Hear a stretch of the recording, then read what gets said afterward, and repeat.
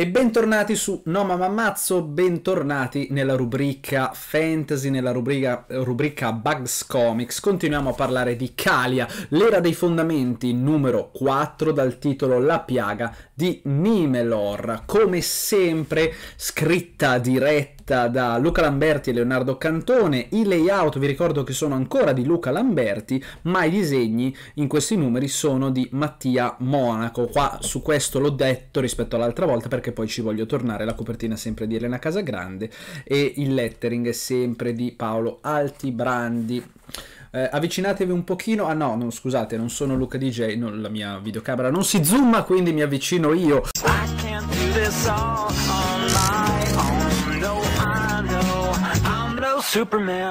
Allora, devo dire che finora questo Kalia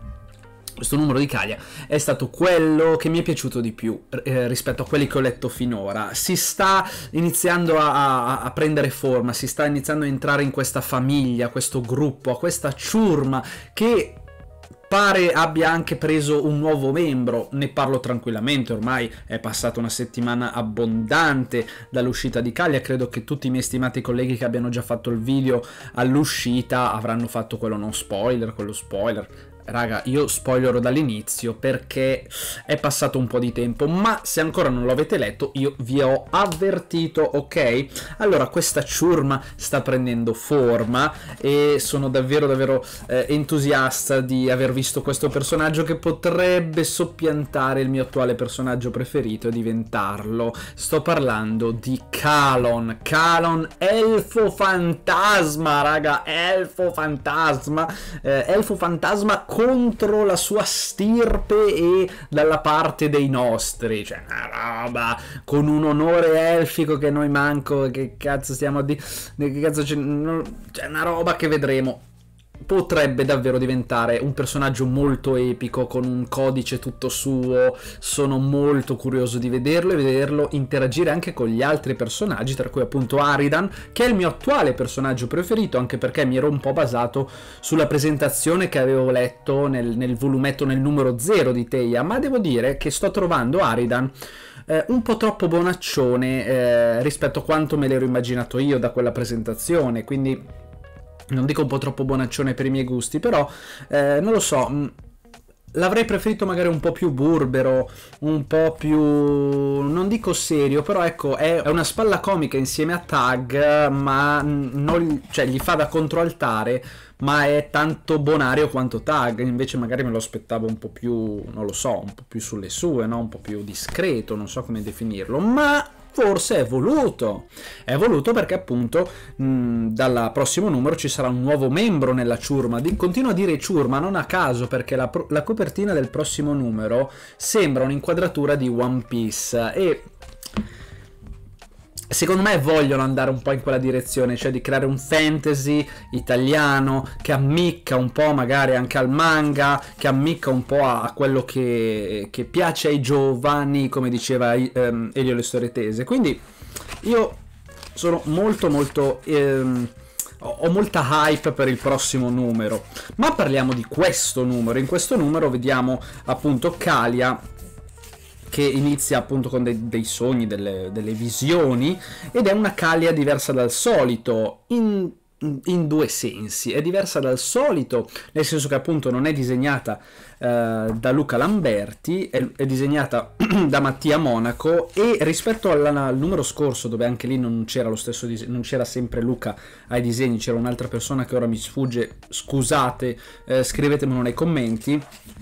però lì non ho notato uno stacco. Qua invece sto notando un pochino uno stacco eh, di mm, come si dice sul design dei personaggi più che altro su, proprio sul design di, di Kalia medesima. Mi sembra un po' diversa un po' più se vogliamo passatemi il termine un po' più bruttina. Eh, soprattutto quando fa delle espressioni anche di sconcerto sono alcune sono ottime altre la abbruttiscono un pochino rendono molto di più eh, l'effetto dell'espressione che, eh, che, deve darci, che deve avere, però a discapito un po' della, del, dei suoi tratti, dei suoi lineamenti. Ecco, non, non mi sto lamentando, cioè nel senso ne, ne, prendo comunque atto che il tratto non sarà sempre uguale, però eh, sto comunque apprezzando i disegnatori. Mi, mi riferisco in particolare alla um, tavola 37. Ecco, per esempio, questa, questa espressione di Caglia non mi è piaciuta molto. Come ho già detto nello scorso video, um, e lo ribadisco in questo numero, il personaggio che la fa da padrone, che eh, è, non posso dire che è il mio personaggio preferito perché non è un vero personaggio, ma ehm, è quello che davvero mi porta più interesse di tutto in questa storia, pensavo fosse quello che mi avrebbe dato più fastidio, invece quello che mi porta più interesse è questo morbo pallido. Qua lo vediamo ancora sotto un'altra forma. Tra l'altro in questo numero ehm, L e L, quindi Leonardo e Luca, ci tengono proprio a precisare che non c'è nessuna correlazione con eh, la pandemia che noi stessi abbiamo passato, che abbiamo trascorso, perché era un po' un'illazione che avevo fatto io nel mio scorso video. Eh, sembra proprio che scrivano quello che noi abbiamo passato in pandemia. Invece no, lo avevano scritto prima, ci vostri, cioè ce l'avete un po' gufata, insomma, sto scherzando. Eh, l'avevano scritto prima e ritrovarsi eh, adesso a rileggere queste cose col senno di poi hanno tutto un, un sapore nuovo, un, un, significato nuovo, un significato magari più profondo, più, che ci scava di più nella pelle, come il morbo medesimo. E devo dire che a me non importa che l'abbiano scritto vivendo la pandemia o l'avessero scritto prima, sta di fatto che io da lettore trovo molte ehm, correlazioni umane con che sta, quelli che sono stati gli anni di pandemia ed è per questo che eh, questo fumetto per me ha un valore aggiunto perché mi ritrovo mi ci ritrovo un po' di più, noi tutti ci ritroviamo un po' di più, neanche a farlo apposta se vi ricordate, Samuel Stern è uscito praticamente con l'inizio della pandemia, novembre 2019, quindi poco prima della pandemia, e questo numero invece parla eh, di una pestilenza, di un morbo, insomma c'è questo fil rouge che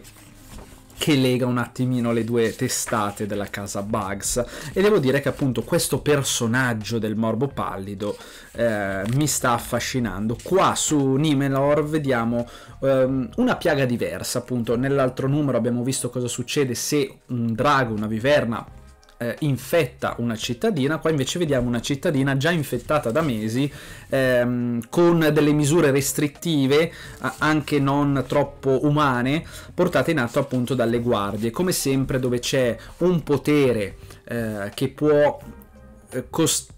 costringere, eh, che può arginare qualcuno, qualche al- un'altra persona che magari ha meno potere, una persona più debole, eh, tra le file di chi ha potere c'è sempre chi, chi, se ne approfitta, quindi magari vediamo le guardie che sono molto dure con i paesani, vediamo le guardie che eh, trattano eh, gli ammalati come Uh, come appestati perché sono appestati però fondamentalmente uh, li abbandonano un po' a loro stessi no? è un po' quello che vedremo nel prossimo video in cui vi parlerò delle tartarughe ninja uh, in, in, quello che sarà Mutant Town se avete letto il numero 58 di tartarughe ninja se non lo avete letto leggetelo così sarete pronti per il mio prossimo video quindi c'è proprio una sorta di dualità no? di due città in una la città di quelli che sono scampati alla pestilenza e la città di quelli che invece sono eh, coinvolti da questo morbo e che sono trattati come animali. In generale questo lo vediamo già da subito, ma poi vediamo che c'è dell'altro, c'è di peggio, c'è il capo di queste guardie, eh, che adesso mi sfugge, mi sfugge il nome, eh, questo tipo qua, il, vediamo, eh, il comandante Tomal, questo tipo qua, che addirittura è in combutta eh, con Varnon, con il, il, capo degli elfi, per dargli un, un esercito di, di, quelli che fondamentalmente sono zombie, anche se non ci avevano detto a che stadio erano della, della pestilenza le persone all'interno eh, della quarantena e a quanto pare scopriamo che Varnon riesce con i suoi poteri alchemici a uh, guidare una sorta di legione di persone infette. Io spero che queste persone infette che Varnon riesce a guidare siano persone che non hanno più una coscienza di sé, altrimenti è davvero grave. Anche perché vorrebbe dire che Kalia nella copertina taglia la testa a una persona che è sì ehm, guidata da Varnon, ma che magari sta facendo delle azioni, sta compiendo delle azioni contro la propria volontà, quindi è vittima inerme di Vernon e gioco forza si ritrova la testa mozzata e questo mi dispiacerebbe. Io spero che Vernon eh, riesca a comandare questa legione di, di zombie eh, solo quando lo stadio del, del, morbo è molto avanzato, però non, non c'è dato saperlo, non spero lo chiariranno in futuro, lo approfondiranno se ci sarà un'altra storia che, che ne parlerà, però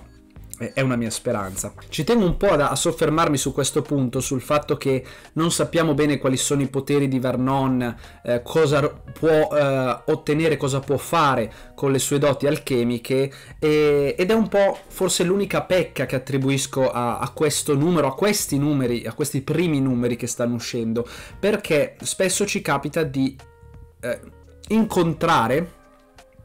l'eccezione alla regola eh, imposta appunto da questo mondo creato dagli autori prima ancora della regola. Faccio riferimento per esempio, torno su Calon. Calon è un personaggio fichissimo, cazzo è un elfo fantasma con un'armatura,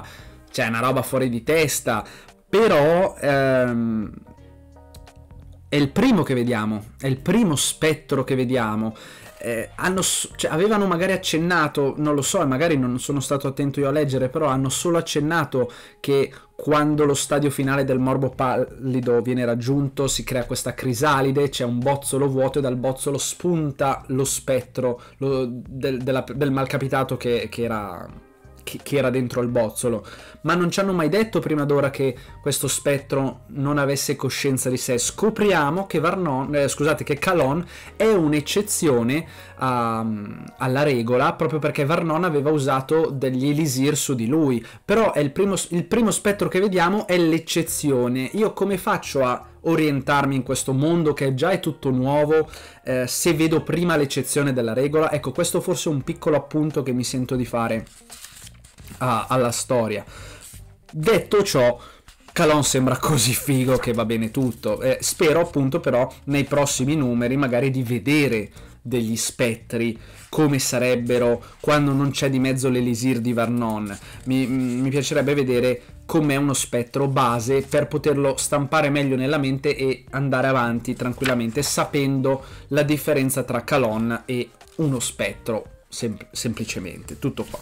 È un peccato che non ci siano i colori perché mi piacerebbe proprio vedere tutte le carnagioni, da quella di Tag a quella di Kalia, a, quella di Lena, a quella di Aridan, a quella di Calon, appunto, che dalla copertina del prossimo numero pare avere questo volto eh, ceruleo, ma anche dovuto al fatto che appunto è, è una sorta di, di, è uno spirito, non riesco neanche a immaginare se è traslucido e trasparente oppure ha assunto questo aspetto solido ma ha mantenuto questo azzurrino da spettro, questi capelli bianchi, mi piacerebbe vedere anche il colore della pelle degli elfi, questa cosa spero non sia mai tolta dal contesto e infilata in un video su, su Rings of Power,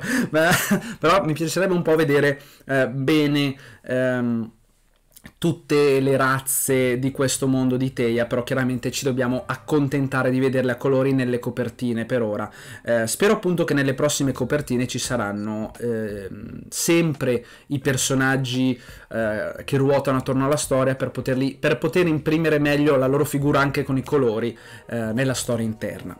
Ecco, questa è una mia speranza. Fatemi sapere voi cosa ne pensate di questo numero di Caglia. Ho sentito che molti l'hanno mollato al primo molti lo hanno mollato al secondo, molti lo hanno mollato al terzo, eh, per ora non ho ancora sentito nessuno che lo abbia mollato al quarto, sta di fatto che io invece sto facendo un percorso inverso, ogni numero mi sta entusiasmando di più, ora non so se lo continuerò vita naturale durante come ho continuato Samuel perché lo dico sempre non sono un grande fruitore di fantasy a fumetti. Però voglio vedere un attimino dove andrà a parare. Questa cosa mi sta aiutando questo